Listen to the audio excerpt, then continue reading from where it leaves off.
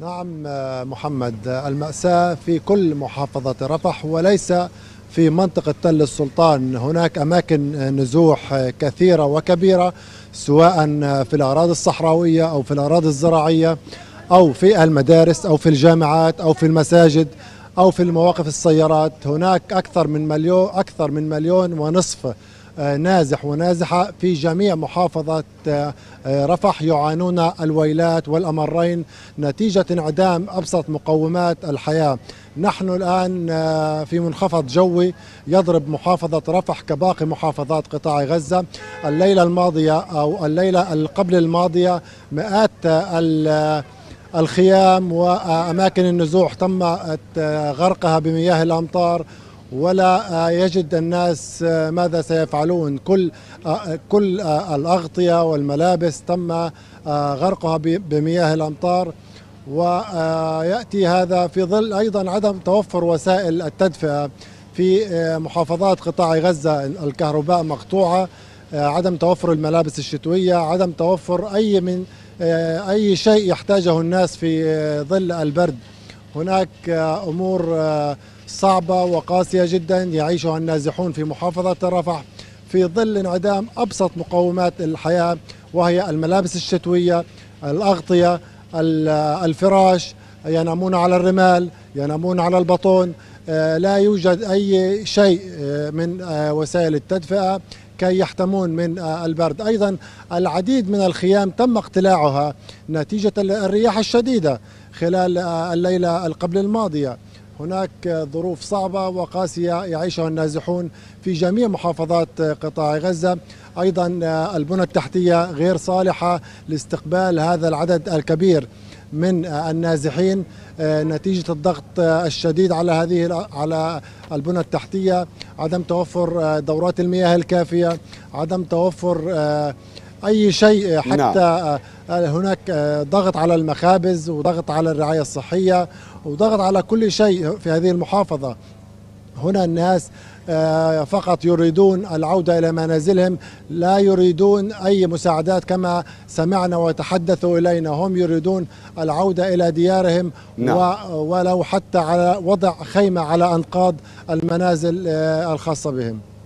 طيب هل لك الآن أيمن أن تفيدنا ببعض الأخبار التي تأتي من خان يونس؟ نعلم أنها الاحتلال أجبر كل الإعلام على مغادرة خان يونس تماما هل تأتيكم أخبار من خان يونس؟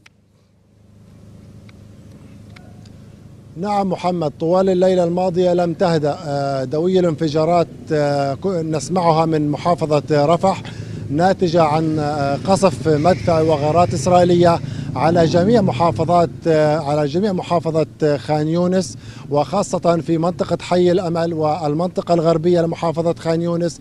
كان هناك استهداف لأحد المنازل لعائلة الخوالدة الحديث عن شهداء وجرحى ومناشدات ضرورة وصول سيارات الإسعاف والدفاع المدني من أجل انتشال الشهداء والجرحى وهناك مفقودين. الوضع صعب وكارثي. أيضا هناك حصار لمستشفيي ناصر الطبي ومستشفى حي الأمل ومستشفى الأمل التابع لجمعية الهلال الأحمر الفلسطيني الجيش الإسرائيلي يمنع دخول أو خروج أي من الجرحى أو المرضى من تلك المشافي.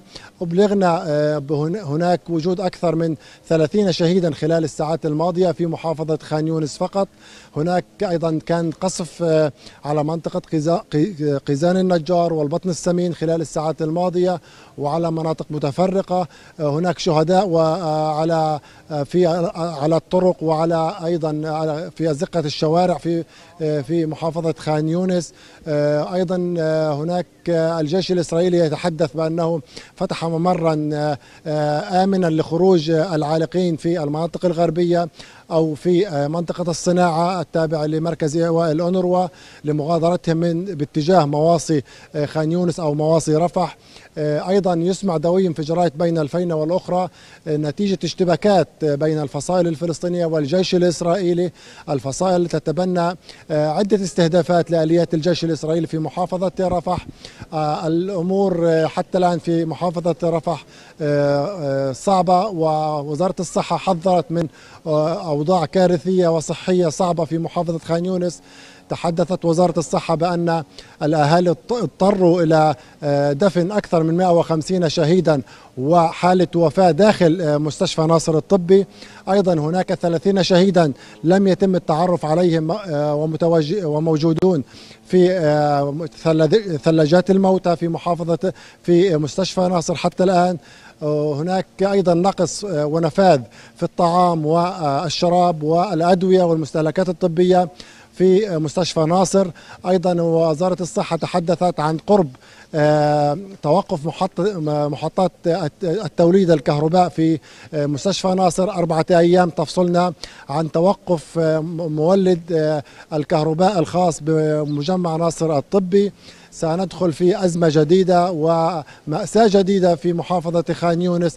نتيجة آه، آه، انقطاع الكهرباء عن مشافي خان يونس خلال الأيام المقبلة.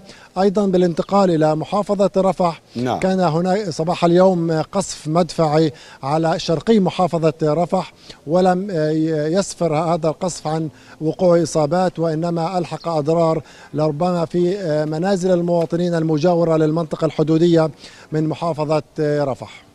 طيب حتى نوضح الصورة قدر الإمكان يعني آه، أيمن لمن يتابعنا. الآن لو أنا وأنت كنا داخل خيمة من خيام تل السلطان أو غيرها ممن نزحوا يعني. وهذا هو أول اليوم يعني بداية اليوم. ماذا ماذا نفعل؟ ما هي ما هي يعني آه، واجباتنا اليومية الآن؟ ما الذي علينا أن نفعله؟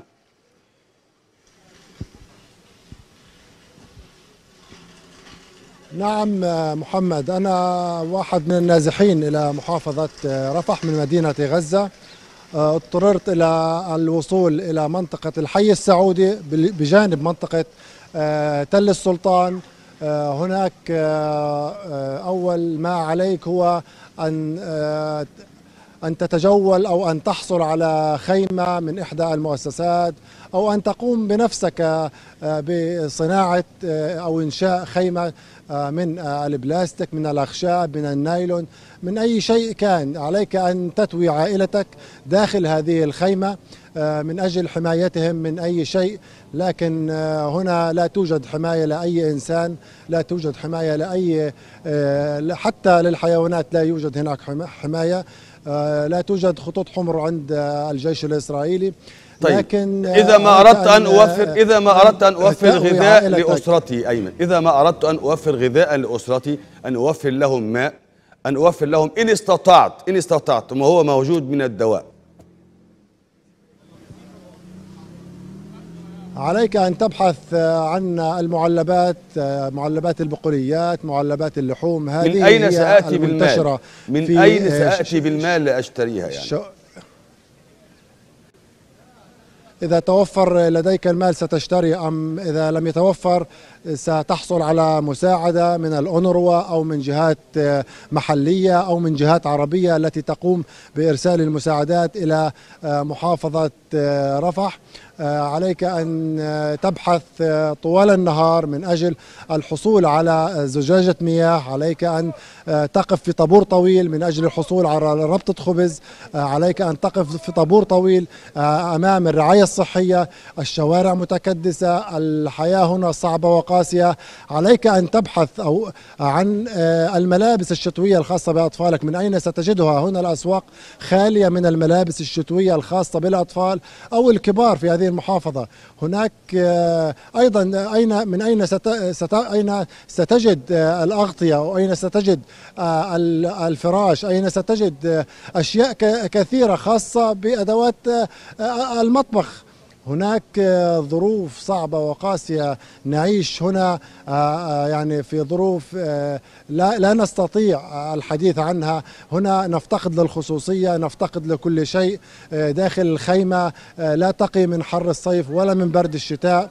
هناك أطفال بحاجة إلى حليب هناك بحاجة إلى بامبرز هناك كبار سن بحاجة إلى أدوية. المرضى المزمنين بالكاد تستطيع أن تحصل على أدوية خاصة بهم. لا يوجد أي دواء خاصة بالمرضى المزمنين وخاصة أنك لا تجد البديل الخاص بهذا الدواء هناك كثير من فقدان لأبسط مقومات طيب. الإنسان لأبسط لأبسط من مقومات الحياة في هذه المنطقة